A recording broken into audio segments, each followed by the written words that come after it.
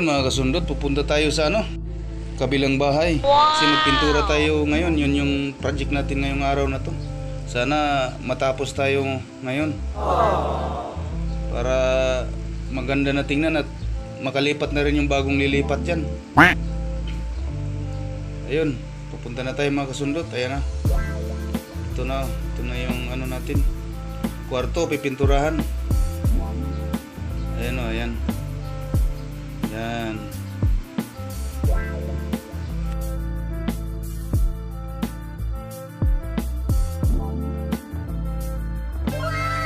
Ayun mga ito yung bahay na to, yung taas na yan. Dito tayo ngayon sa ano, ah, sa baba magpintura sa unang kwarto. Kasi yung baba kasi nito, tatlong kwarto yan mga kasundot. Ayan o. Ito yun. Kailangan natin baguhin ng pintura kasi medyo luma na. Palitan natin ng ano, kulay gray.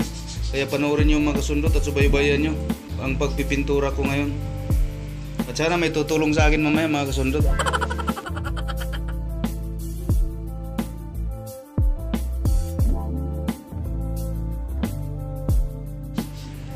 Ayan mga kasundot, uh, magsusuot tayo ng bunit para hindi magkapintura yung ulo natin at saka yung mukha natin. Ayan o. Ah, ito na.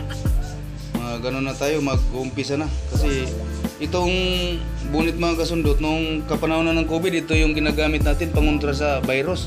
Pero, ngayon, gagamitin lang natin ito sa pagpintura para protection sa mukha na hindi magkaroon ng pintura. Hindi totoo yan. Ayan mga kasundot, start na tayo.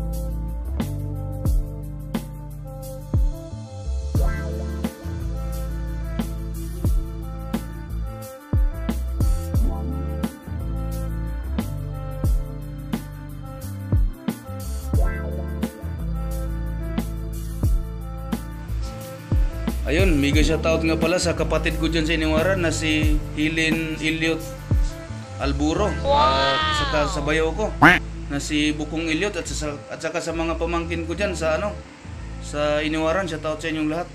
At saka sa ano, taga San Rafael. Sa mga Rosales family, shoutout sa inyong lahat dyan. Saka sa mga vlogger dyan, San Rafael vlogger na si Buripam at saka si DJ Alburo Almension at saka kay ano, kagawad Daniel Buro, shout out sa inyo, sa iyo kagawad. At magandang umaga. Ang galing mo pala dyan ah. Hindi ko alam ah.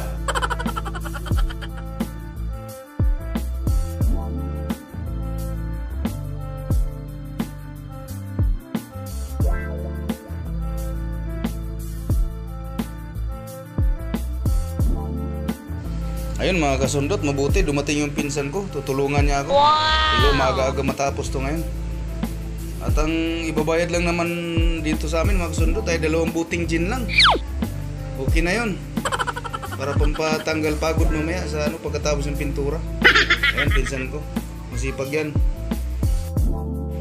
At shoutout nga pala dito sa sa pinsan ko sa tumulong sa akin, Judy Peñalosa.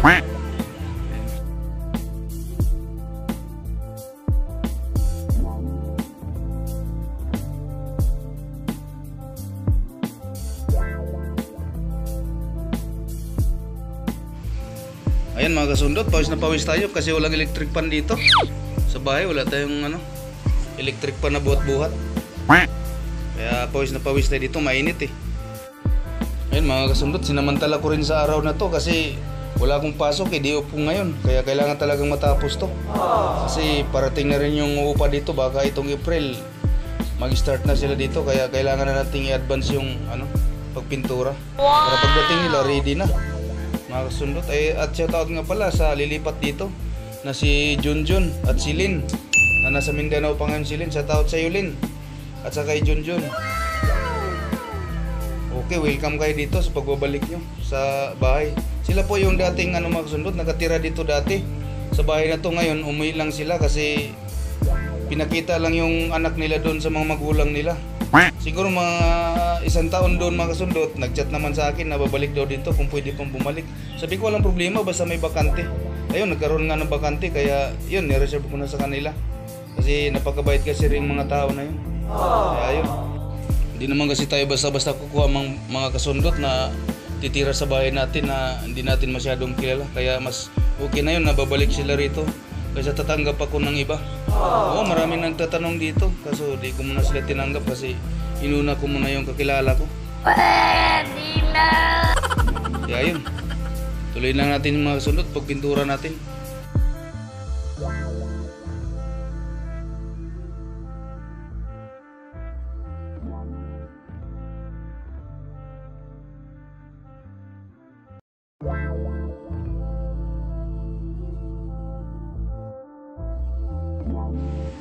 Ayun, ginagawa natin itong mga kasundot kasi kumbaga sa ano, kung sahod lang ang asahan natin, hindi natin kayang paralin ng mga anak natin. Kagaya sa akin, tatlo anak ko na nag-aaral. Kaya kailangan ko pa rin talaga na may extra income. Kaya ito, sa awa ng Diyos, nagkaroon tayo. Nagkaroon tayo ng ganitong mali, kahit maliit na paupahan, at least maka, malaking tulong to sa pag-aaral ng mga anak ko. Sana mag-ayos sila sa pag-aaral at magtapos.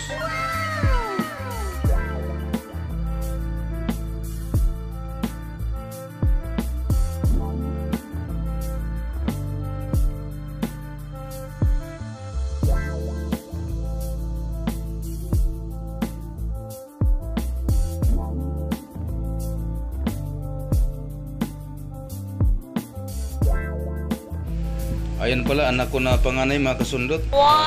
Tumulong siya magpintura para mapabilis. Doon siya sa ano, CR ngayon. Ako naman dito sa labas. Ayan. Siya nakasign ngayon doon. Ayan. Ayun, shout out nga pala dito sa anak ko na tumulong. Na si Ronald. Mabuti, tinulungan niya tayo. At medyo maaga-aga nagising. Ayun.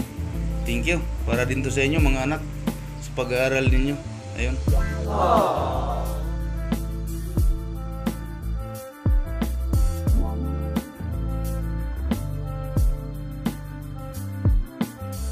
Ginagawa mo.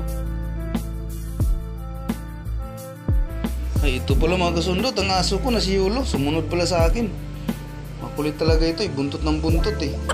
Ayun, ayun si Bunsoy. Ayun oh. May alaga din siyang itik. Ayun. Sa team sa ano sa tabok. Nandun nakalagay yung alaga ng itik.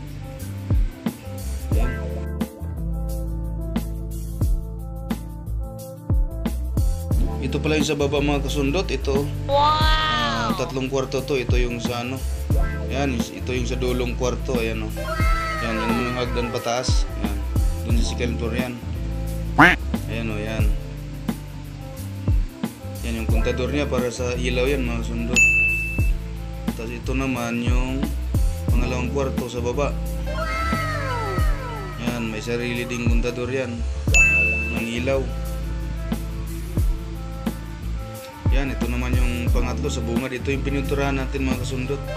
Kasi ito yung walang tao, bakante siya ngayon. Kaya samantalahin natin, kapinturahan.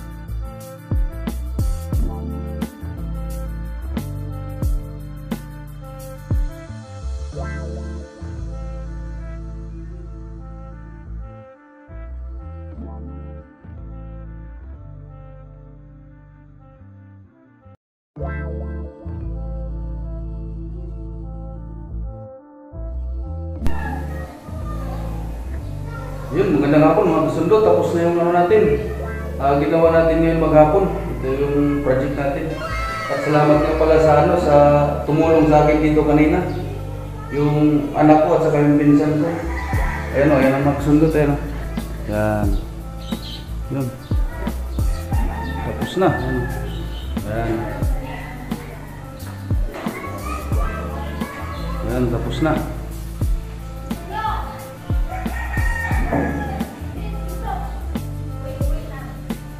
Ready na to sa mga sa ano lilipat dito na si ano Junjun. Ayan. Ready na to. Ayan si R tapos na rin.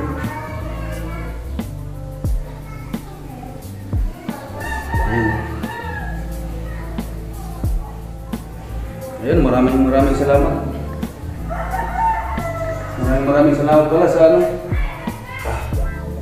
Uh, sa araw na to na may nagawa tayo. Maghapon. Ayun. Thank you, thank you. Nililipat na dito. May nakabang na. Ayun, thank you. Salamat. Bye-bye. Ayun, maraming maraming salamat mga kasundot sa mga nanonood sa aking video hanggang dulo. At yun, hanggang dito na lang mga kasundot. At thank you very much. Mag-ingat tayong lahat. At magandang hapon.